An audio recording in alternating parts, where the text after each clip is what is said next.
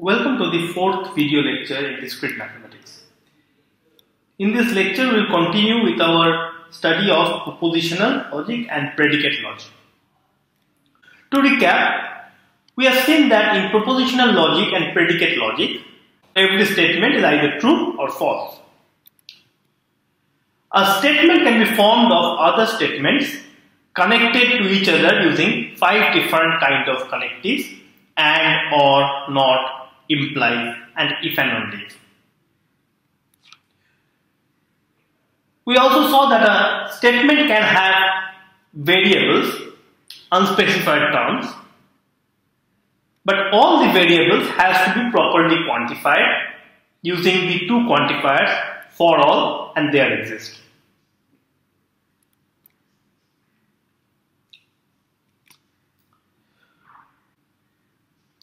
We also saw that any meaningful statement or proposition or theorem can be written as a mathematical logic statement.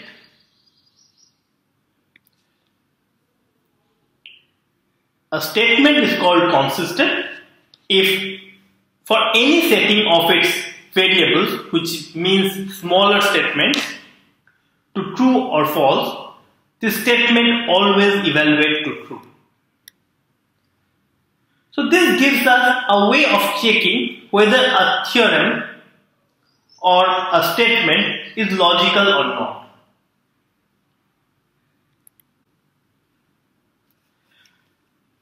Now, there can be multiple different ways in writing a particular statement.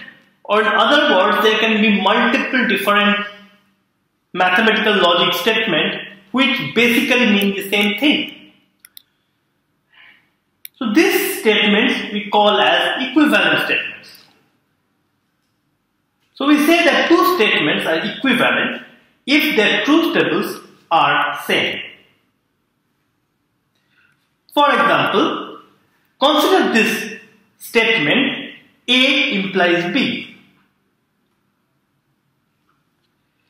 I claim that statement A implies B is same as saying not B and A is false. So how do we check them? So of course the way of checking them is via their truth table.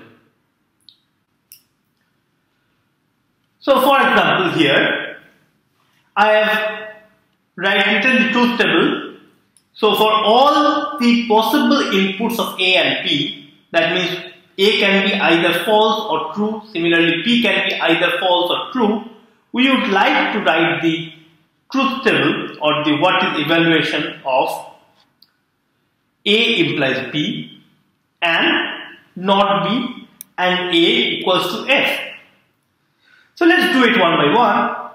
If you remember, the rules of implies, a false statement always implies a false statement or false statement implies a true statement. Both of them are true.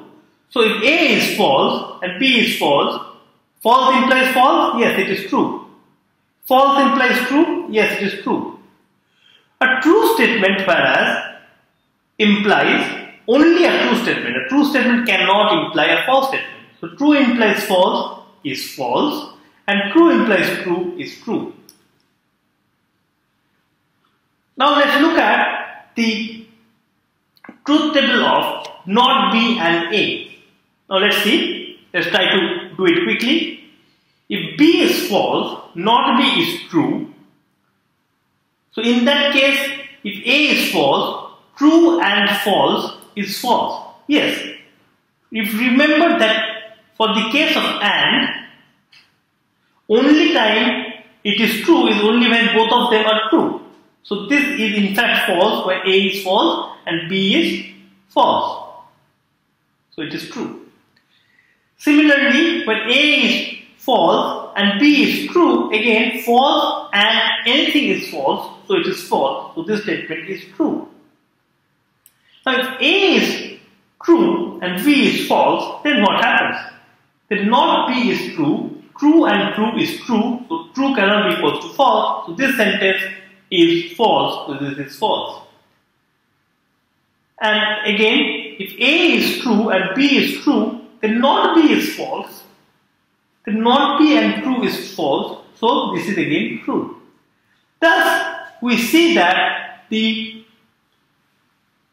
the truth table of both the statements are same, which means that they are equivalent. And here is the truth table of them.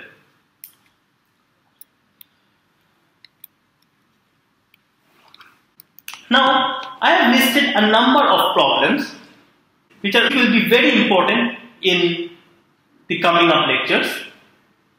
So, prove that A implies B is same as not A or B. Prove that A if and only if B implies A implies B and B implies A. Prove that P or Q implies R is equivalent to P implies R and Q implies R. Similarly, prove that A implies B is equivalent to not B implies not A. So I leave you guys with these problems. I will use these problems, the statement of these problems in the coming videos. Very crucial. Now, let's go back to the definition of equivalence. As I told you, checking equivalence is same as checking if the truth tables are same. As you can imagine, when these mathematical logic statements are big, or in other words, when there are quite a number of variables, in that case, doing the truth table can be quite a tedious process. There is one more way of checking equivalence. Namely, instead of using brute force truth table approach, we can simplify the formulas using some rules. So here are some of the useful rules.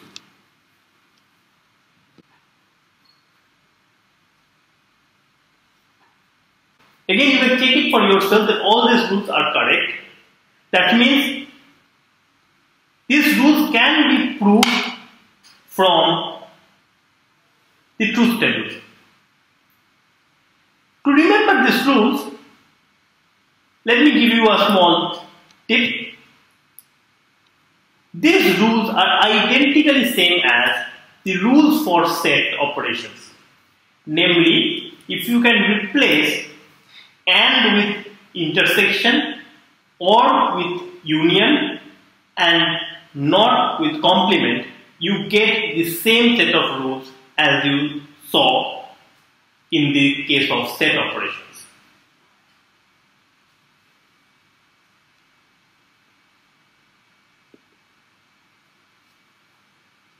So, remembering these rules is not a hard job.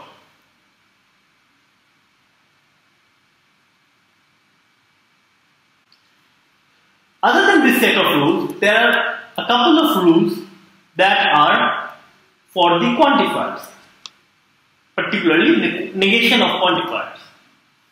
Namely, if the formula, if the proposition is of the form for all x px, where px is the proposition using the variable x and it is quantified using for all x, then the negation of this is, or the opposite of this statement for all x px is, there exists an x such that px doesn't hold. Or in other words, for there exists an x such that negation of px is true. Similarly, the negation of there exists px, there exists x px, meaning there exists x such that px holds or px is true, the negation of this is for all x, px does not hold.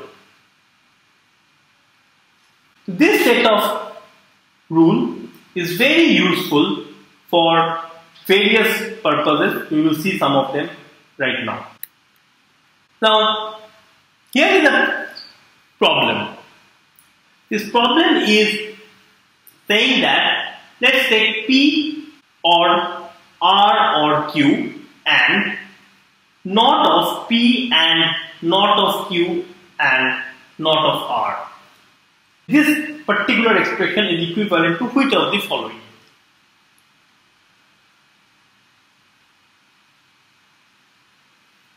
Let's try to solve this problem. We will use the rules of propositional logic that has been listed out here.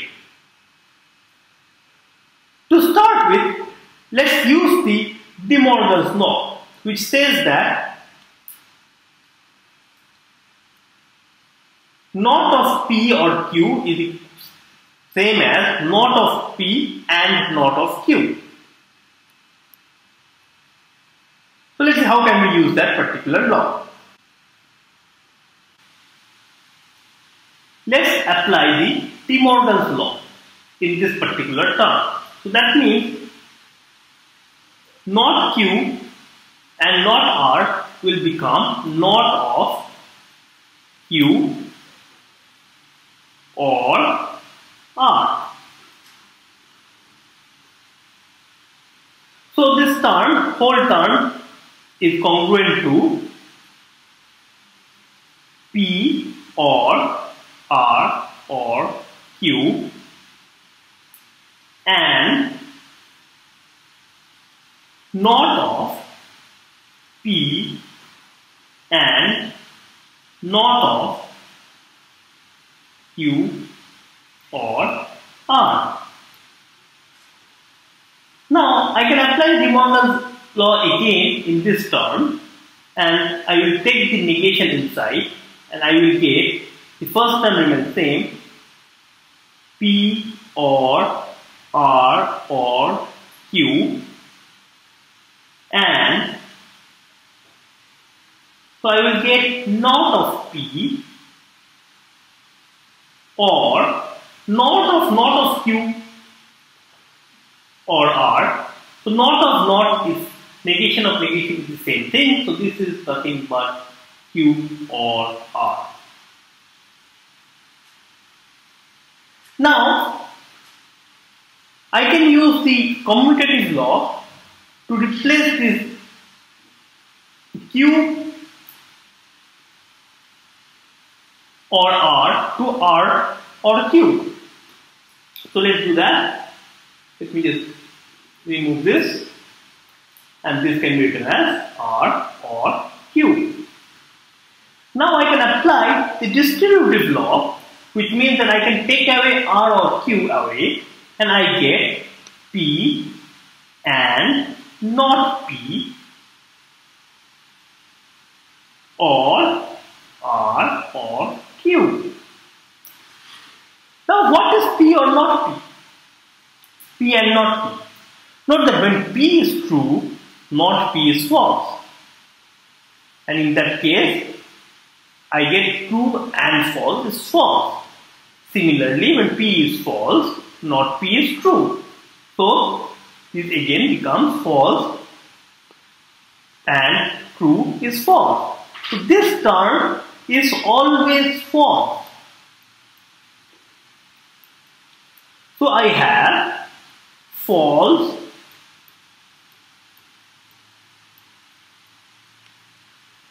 or R or Q.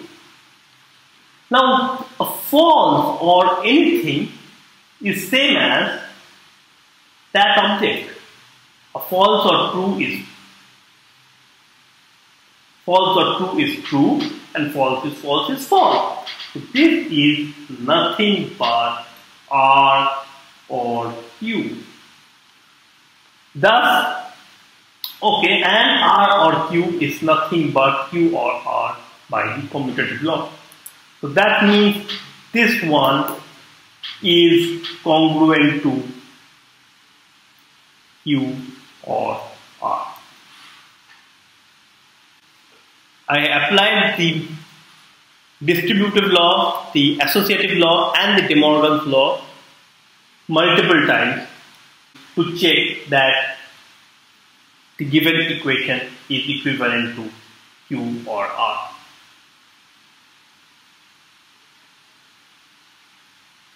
Okay. Now, moving on, let's try to see if we know how to apply the rules of negation. So here is a sentence. There is a university in USA where every department has at least 20 faculty and at least one Nobel laureate. So what would be the negation of this? So out of these four choices, which one is the correct negation? Now, if you want to negate this sentence, first thing to do is to identify the quantifiers and the variables. So in this case, there are two quantifiers and two variables. There is there is, so this is a quantifier there exists with the variable university. Let's call this university as X.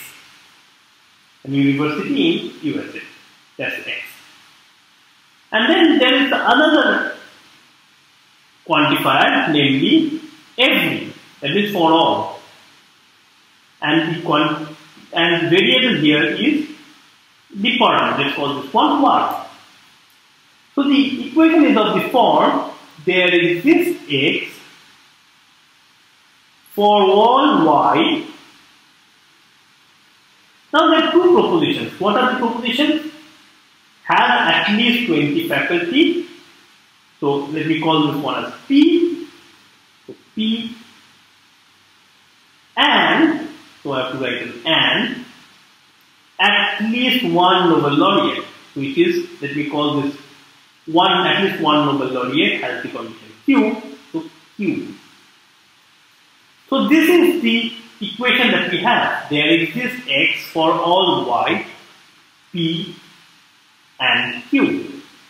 Now if I want to negate this term, what do I get? We first apply the rule of negation. Namely, this one becomes, therefore the first one, there exists x. Note that not of there exists x means there for all x, negation of the whole thing inside. So for all y, p and q. Once again, let us apply the rule of negation. So there not of for all y is same as so the first outer term remains the same, not of for all y becomes there exists y not of p and q. And now once we have not of p and q, we can apply the De Morgan's law and we can see that this becomes for all x there exists y not of p or not of sorry I ran out of space not of P or not of Q. So if I have to negate it, it should be for all university in USA, there exists a department such that opposite of at least 20 meaning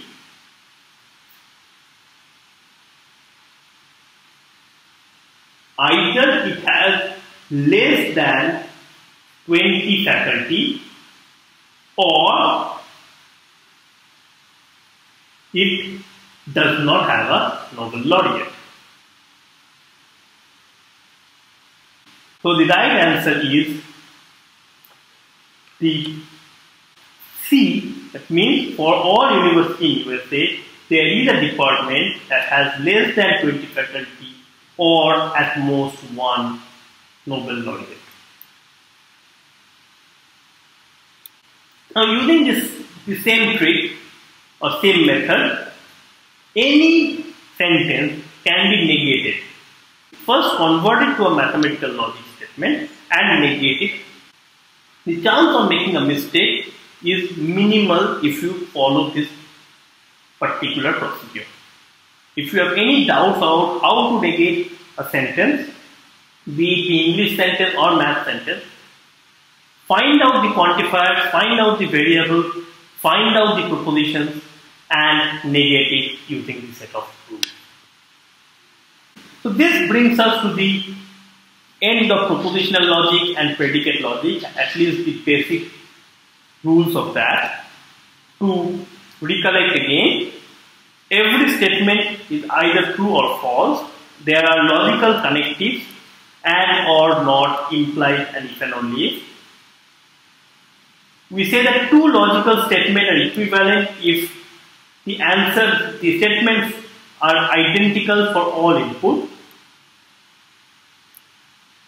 To check the equivalence of two statements, we would either check by writing the truth table of both of them or by reducing one to the other using a set of rules, the rules that we have just discussed.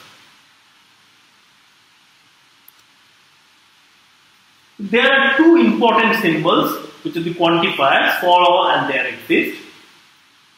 Some statements can be defined using a variable. For example, we can say something like for all x in z, 4x squared plus 3 is divisible by 5.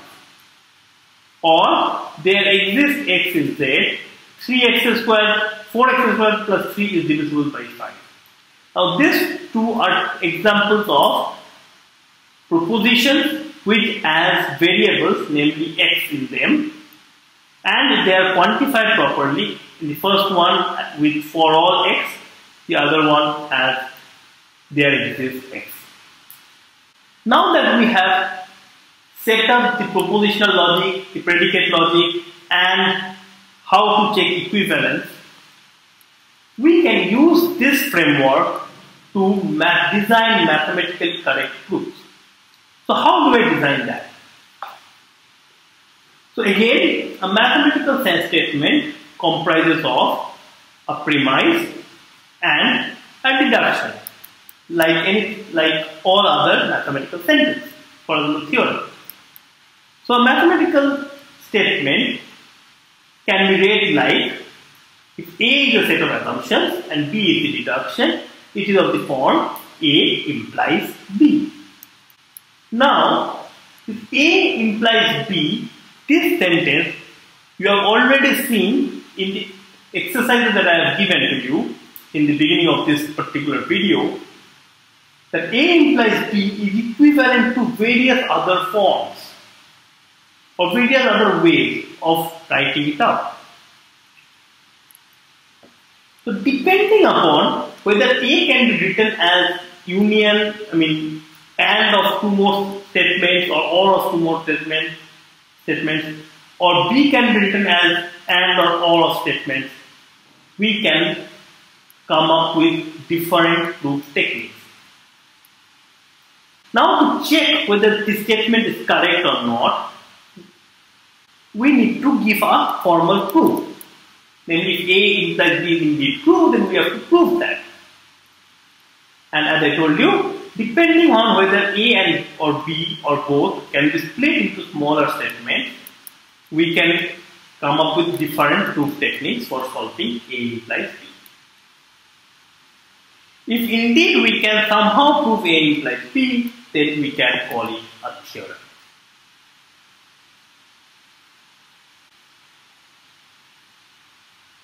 Next week, we will go into different proof techniques. I would request you guys to go and do the exercises that I told you in the beginning of this video, where I have asked you to prove various equivalences between the statement A implies B and other forms. It will help us to set up the different proof techniques. Depending on the problem, Sometimes some proof techniques will be more useful than the other. We will be going through the different proof techniques one by one. Just to give you a highlight of what's going to come, there are a number of proof techniques. Namely, there are these constructive proofs. Proof by contradiction, proof by contrapositiveness, induction, counterexample, and existential proof. We will try to spend a lot of time doing various proofs or solving various problems using different proof, all the proof techniques. We will describe the proof techniques and see under what circumstances which proof technique works better. This will be basically our plan for the next two or three weeks. Thank you.